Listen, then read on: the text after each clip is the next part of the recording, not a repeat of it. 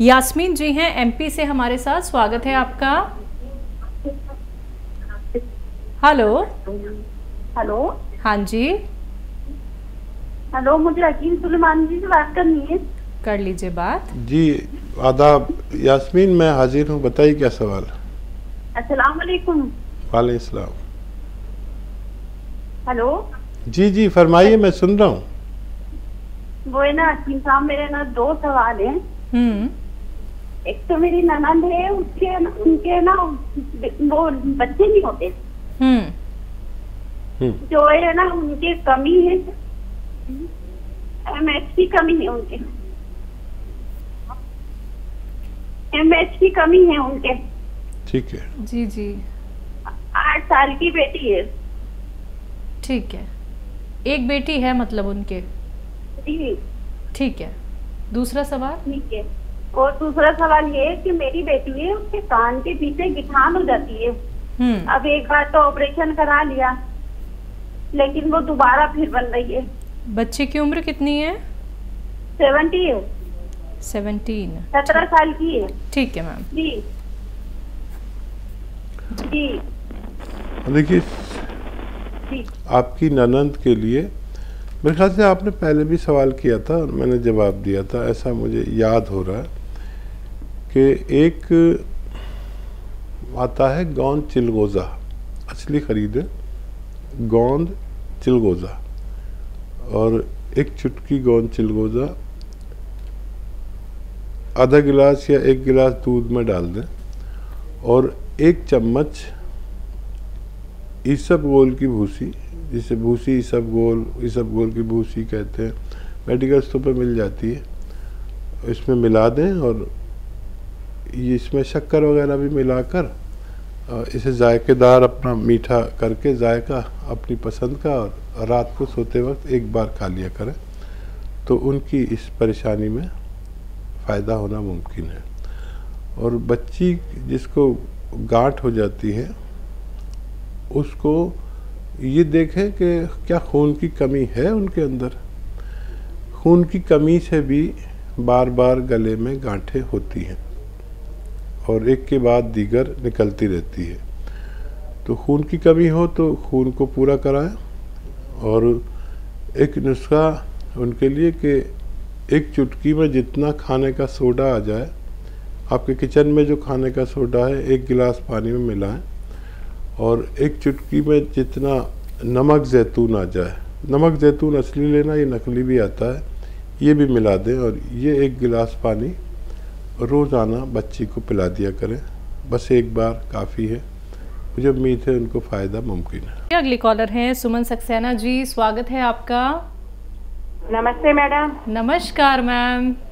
नमस्कार डॉक्टर साहब। जय हिंद। सुमन जी आपका बहुत स्वागत है। सर मेरी है ना ये दो सवाल है।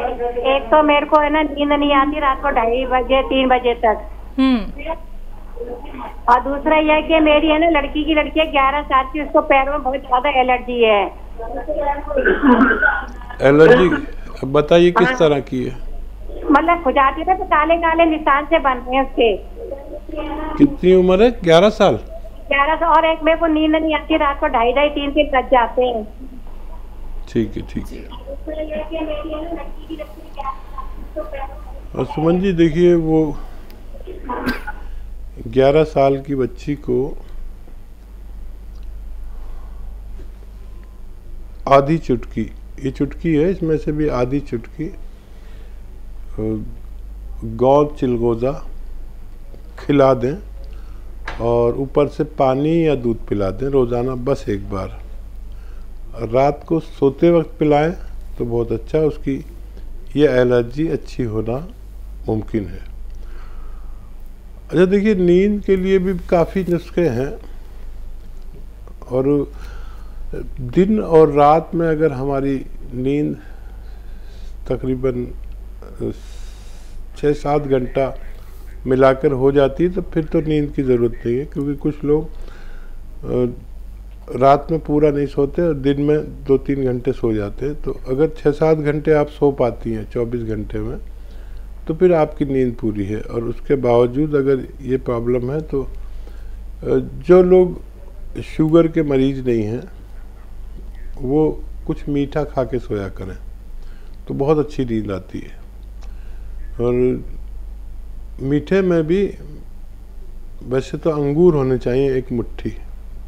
अंगूर ना हो तो कुछ मिठाई मिठाई ना हो तो कुछ शक्कर ही हो गुड़ हो कुछ भी थोड़ा ज़्यादा खा के सोया करिए आपको अच्छी नींद आना मुमकिन है। गाजियाबाद से हैं सत्या जी स्वागत है आपका। हाँ जी मैम नमस्ते। नमस्कार मैम। जी नमस्ते। जय हिंद सत्या जी आपका स्वागत। हाँ जी। सर जी मैंने आपकी दवाई खाई है साल भर तक।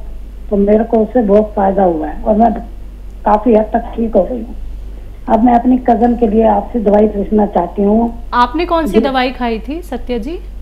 मैंने काला गोंद खाया था हाँ हाँ। गोंद मोरिंगा खाया है। हाँ। बहुत सारी दवाइयाँ खाई हैं धनिया खाया है। मुझे दवाइयों के नाम ही भूल गए जैतून का सिरका।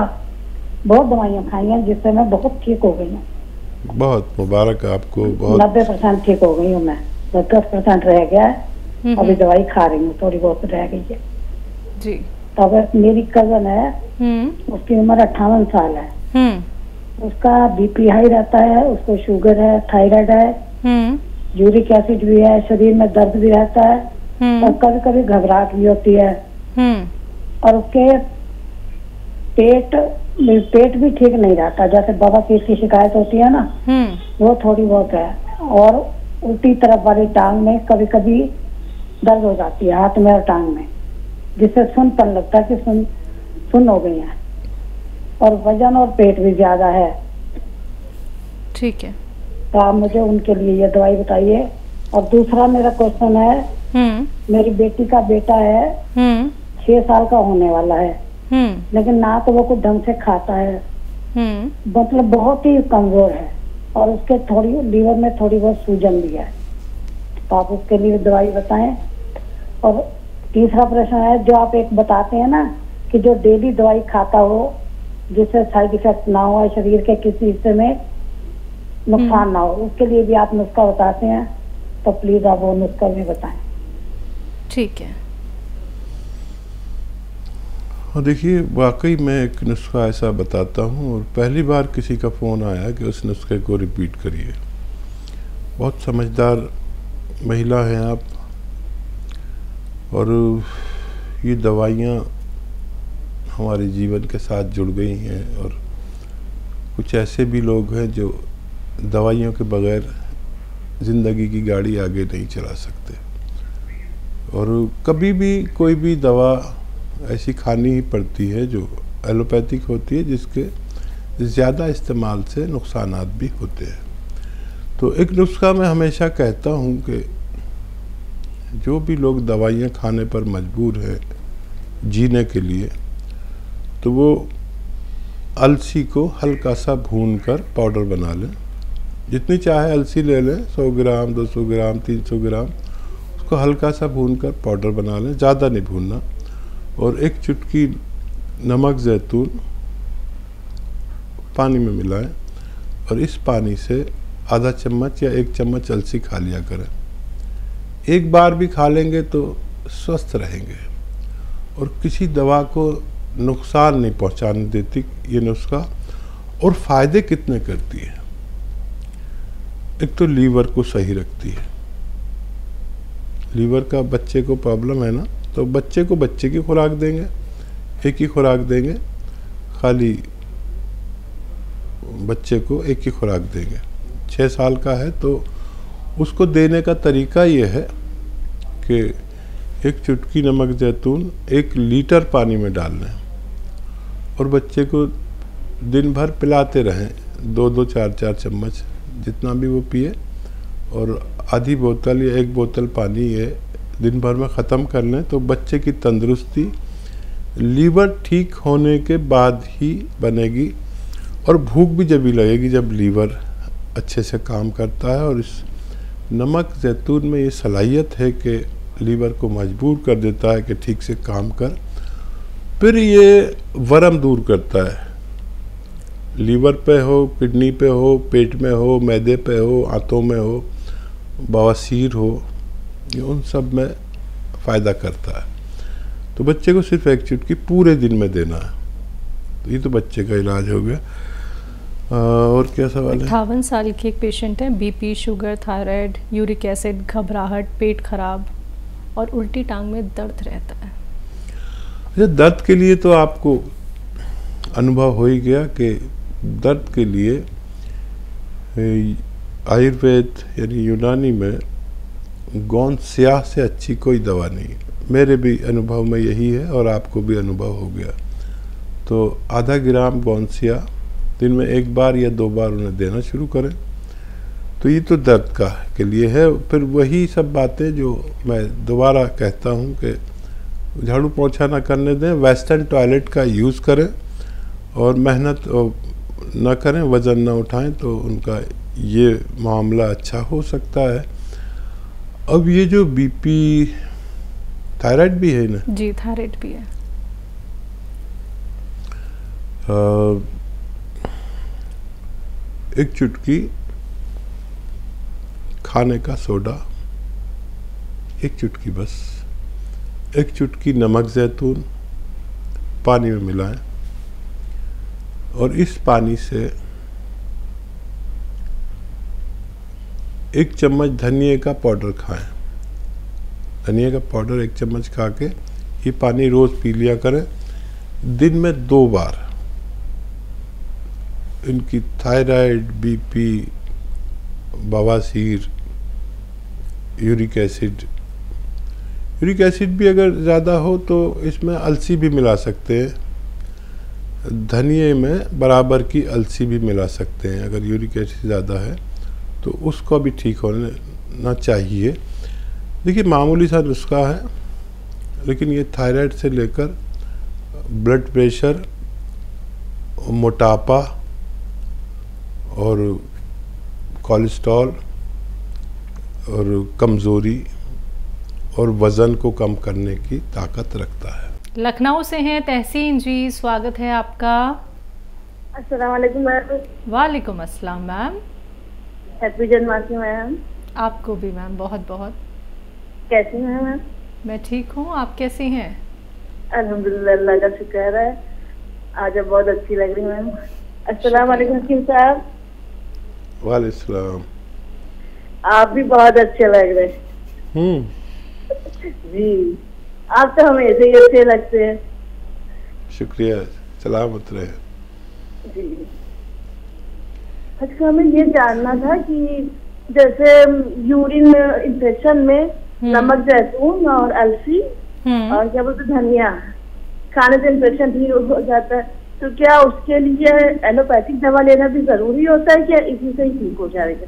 हमें बस ये जानना है। ठीक है। कि अगर ज़रूरी नहीं होता तो ठीक है अगर ज़रूरी होता है तो भी बता दीजिए। ठीक। है। खुदा हेलो जी। हाँ जी। जी। हकीम साहब आपके लिए छोटा सा शेर है अच्छा। कुछ तो चाहत रही होगी इन बारिश की बूंदों की। हम्म। वरना कौन गिरता है ज़मीन पर ज़मीन पे आसमान पर पहुँचने के बाद? वाह वाह वाह। यह आपके लिए था। बहुत शुक्रिया। और आपका सवाल देखिए इन्फेक्शन में ज़्यादातर तो ज़रूरत नहीं पड़ती पेशाब के इन्फेक्शन में। ज़्यादातर तो ज़रूरत नहीं पड़ती। नमक, जैतून और अलसी काफ़ी होती है।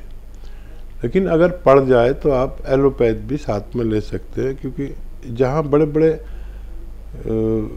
एलोपैथिक एंटीबायोटिक्स काम नहीं करते और मुद्दतें हो जाती हैं, उनको इस्तेमाल करते हैं, वहाँ इसकी एक खुराक ही बहुत फ़ायदा पहुंचाती है। तो ज़रूरत पड़े तो मैंने हमेशा कहा है कि ले लिया करें एलोपैथ, नहीं तो ये आपके पेशाब के इन्फेक्शन के लिए काफ़ी होना चाहिए।